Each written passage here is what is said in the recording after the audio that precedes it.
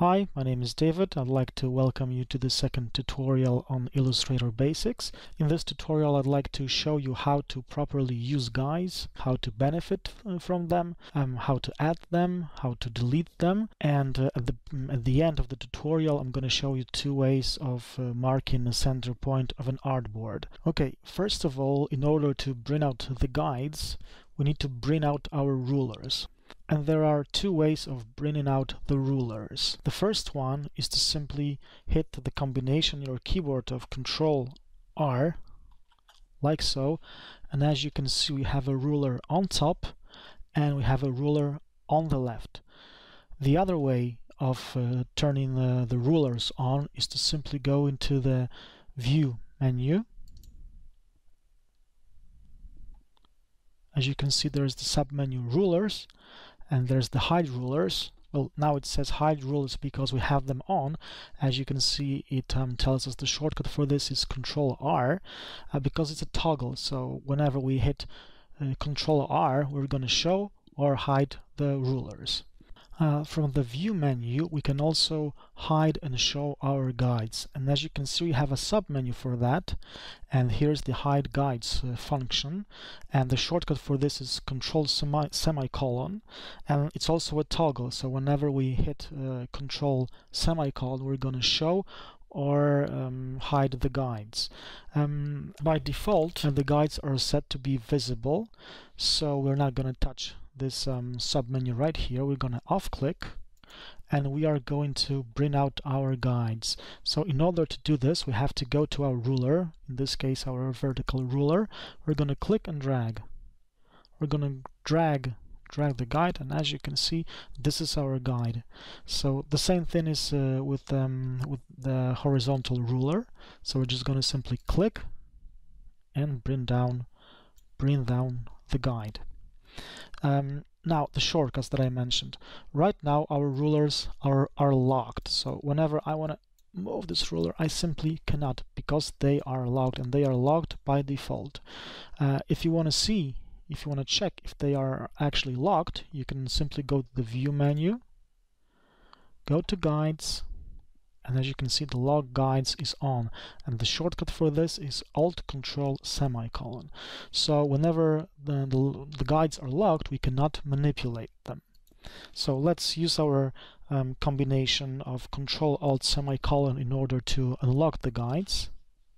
So let's see I just hit control alt semicolon. So let's go to the view menu and actually check if, uh, if the guides are unlocked. As you can see, they are unlocked. So now we can simply move the guides around. You can move the guides around. But I usually don't recommend doing this um, like this by hand. I'm going to show you later on nice techniques in order how to uh, move them the right, the proper way in order so you don't get confused and your workflow is uh, nice and sweet and precise most of all. I'm going to lock my guides again Okay, so now our guides are brought up um, and I'm going to share with you one method that I use when I'm working with guides. Um, I usually put my guides on a separate layer. So I usually go to the layers uh, panel.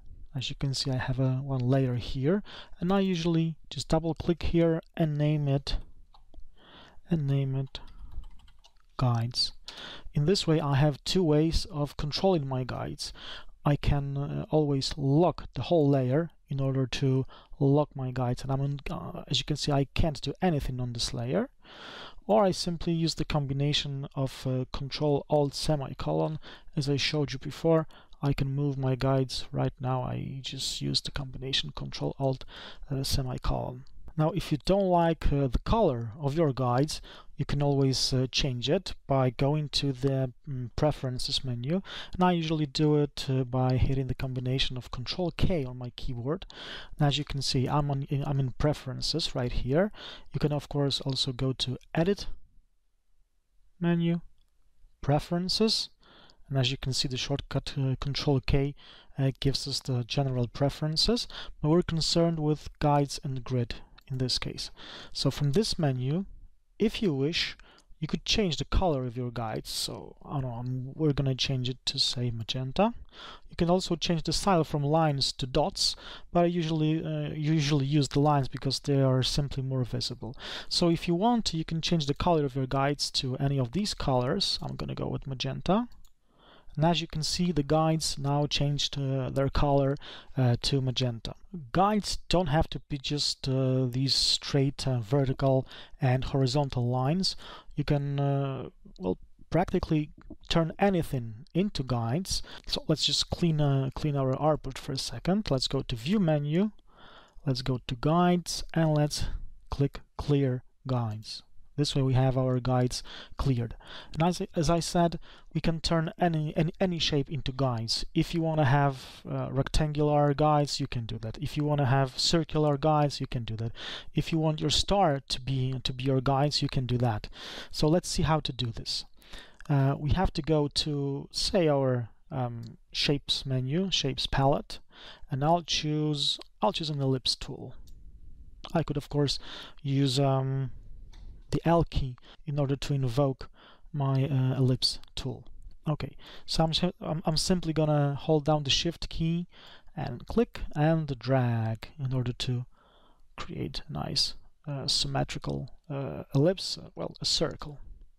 So this is my circle. Circle. I'm gonna hit the D key in order to um, set the default uh, fill and stroke color, which is white and black. I hit the D key. And now I want to turn these I want to turn this guy this circle into guides. So I'm gonna go to view menu again. I'm gonna go to guides guides and I'm gonna hit make guides. As you can see I have my guides right here and they're in color uh, they're in magenta color because we set them to be uh, in magenta color. Um, let's do another one. Let's go to stay star tool. I'm gonna move my uh, artboard a bit to the left and I'm doing that by the way by holding down uh, the spacebar key and it turns it to, into hand tool and a clicking and dragging so it's spacebar click and drag. I'm gonna hold down the shift key and create a star oh, something like so. And I'm again gonna go to view menu guides make guides. And as you can see now I have my well star shaped guides I can also have very, very irregular uh, guides, irregular in shape. I'm gonna go to my, um, say, pen tool, and I'm gonna draw something, something fairly irregular. Uh, something like this. And now again, I'm gonna go to View menu, Guides, and make guides. And I've just turned that irregular line irregular shape into into guides. So you can basically turn anything uh, any shape you want into guides into guides uh, if you simply wish so now I promised you before that we are going to learn two methods of uh, marking a center point uh, on our artboard. The first method uh, uses the, um, the rectangular grid tool. The rectangular grid tool lies here in this uh, flyout menu under the line segment tool and it's this guy right here rectangular grid tool but before we do this, we have to um, keep in mind two values. First of all, we have to check the width and height of our artboard. And how do we do this? We simply need to go to the document setup here, here at the top. Then we have to go to edit artboards and our control panel gives us many many useful information um, throughout this uh, series of tutorials I'm gonna be I'm gonna be referring to this control top panel quite a lot because it helps helps a lot in this case what we need are our values of width and our height. So my width is 600 pixels and my height is 400 pixels. Now I'm gonna escape from this. I'm gonna hit the escape key twice. Now we can check these values uh, also by going to the artboard tool, which lies here in the uh, in our panel, left panel, and the shortcut for this is Shift O. So whenever we whenever we make it active, um, we can see our values of height and width and also um, some other useful information, but we're going to talk about them a bit later on. So I'm going to escape from this. So now, since we know that our width uh, uh, is 600 pixels and our height is 400 pixels, we're simply going to go to our uh, rectangular grid tool. Now, the way this tool works is whenever we click somewhere on our artboard, we're going to be presented with, um, with this dialog box. So as you can see, I've already set my uh, width to be 600 and my height to be 400 pixels. What's important is that we have to set our number of horizontal and vertical dividers to 1. Now, if we set something some, something more than one, we'd have well a bigger number of, uh, of dividers. But in this case, we simply need uh, we simply need uh, one uh, horizontal and one vertical divider. So I'm going to hit OK. So as you can see, uh, I've created uh, four rectangles. So now I'm going to go now I'm going to go back to my top panel. And as you can see right up here, we have our X and Y values. And these, uh, these values uh, represent the position of our, uh, of our uh, shape, um, our artwork on our artboard. Now these values up here, the x and y value, um, correspond to something that is called the reference point and it's, it's here on the left.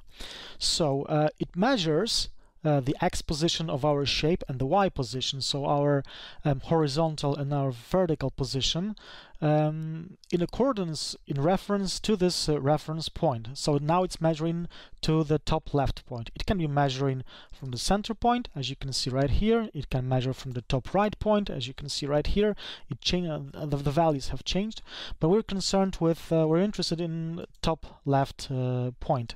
So we want this um, we want this grid to be exactly uh, well to start exactly from the from, from the zero zero x and, and zero y value from from the top left corner. So we want our grid to measure exactly from the top left corner right here. So we have to simply insert 0 for x value and 0 for y value. And as you can see, our rectangular grid uh, beautifully moved uh, to the top, top left uh, corner.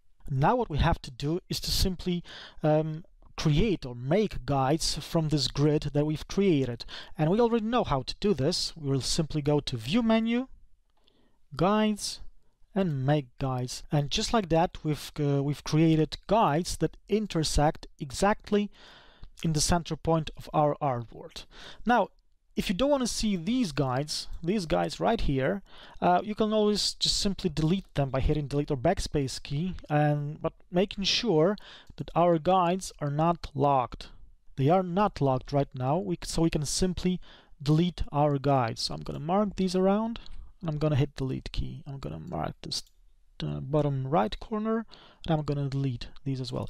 Never forget to, to log the guides after you unlock them and manipul manipulated them. So I'm gonna hit the combination of Control Alt semicolon thus I've just locked my guides. See, I, I cannot do anything with them. Now, the second method that I tend to use uh, tend to use the most will require uh, the usage of the top control panel as well. Before we start, remember to have your guides unlocked. So we'll check it by going to the View, view menu, Guides, and we can see that our guides uh, are not locked.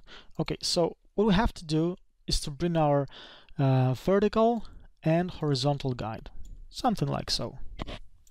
Now, as you can remember, uh, our artboard is 600 across and 400 down. So what we have to do is to uh, mark the, um, the vertical uh, guide first.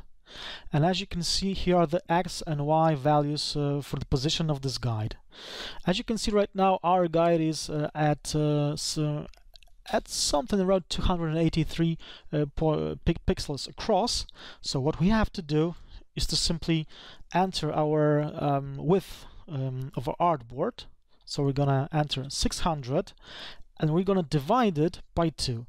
And um, this is a really nice trick in Illustrator. You can do simple maths uh, around Illustrator in many dialog boxes.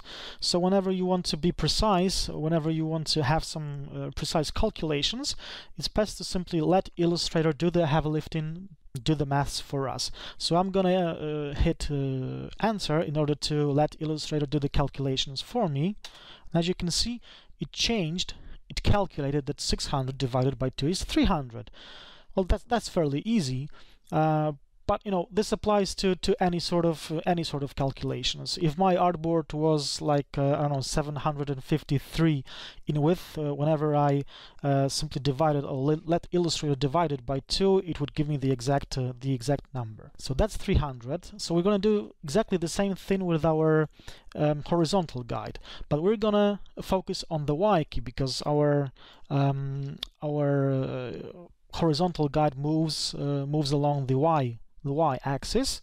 So we remember that our um, height, the height of our artboard was 400 pixels. So we're going to go 400 and divide it by 2, hit enter, and like that we simply we have our uh, center point of our artboard uh, marked. So that uh, wraps it up for this tutorial. I hope you learned a thing or two. I hope you enjoyed it. I know I did. So stay tuned for the next tutorial.